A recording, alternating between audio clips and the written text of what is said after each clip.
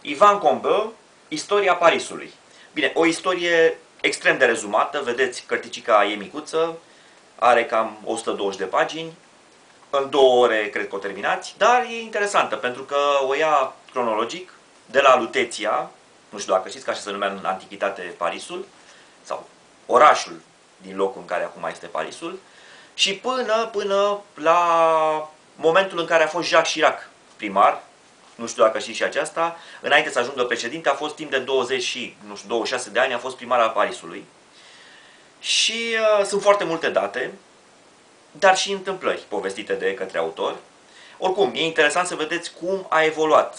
Credeți-mă, a evoluat organic și, uh, na, istoria occidentală, știți probabil că este extrem de legată de acest Paris. Foarte multe din uh, evenimentele mari care au uh, schimbat Europa, vechiul continent, da, și au avut uh, începutul sau au fost determinate de decizii luate în Paris. Inclusiv în Marea Revoluție franceză, da, care practic a schimbat cu totul, a terminat Evul Mediu, Revoluția 1848, care a început uh, în Paris, practic, și care a fost foarte importantă, precum și altele.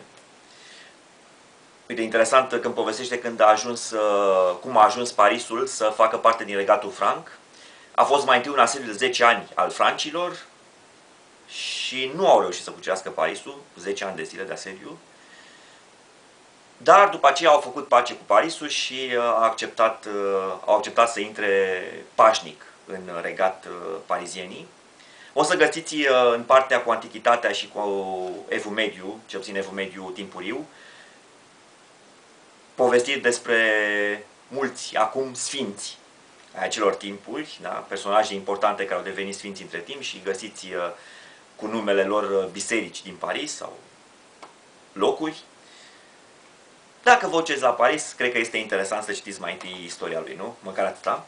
Dacă vă place, vă recomand de Cyril Buffet, Istoria Berlinului.